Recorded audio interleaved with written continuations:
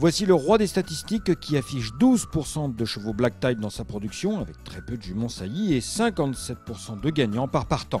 Pomelato est revenu en France après y avoir débuté, puis voyagé en Allemagne et même en Iran. Il est capable de briller tant en plat qu'en obstacle. En 2020, avec sa première génération de deux ans née en France depuis son retour, il s'est distingué avec Pomme Malpic, deuxième du prix La Flèche, la première listote du programme français. Lui-même fut d'ailleurs un excellent coursier dès l'âge de 2 ans, vainqueur du Critérium de Maison Lafitte, groupe 2 devant Equiano. Rappelons qu'il est fils de Big Shuffle, un étalon qui fut très important en Allemagne et dans toute l'Europe, grand vecteur de vitesse et de solidité.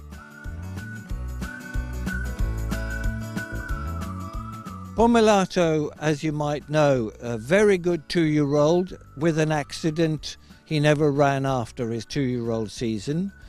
He has 57% winners to runners, which is a very, very good figure. 12% winners are placed in, in black type races. He produces flat horses, jumpers, and despite having very few opportunities, he must be one of the best horses that you can use in France for a very reasonable price.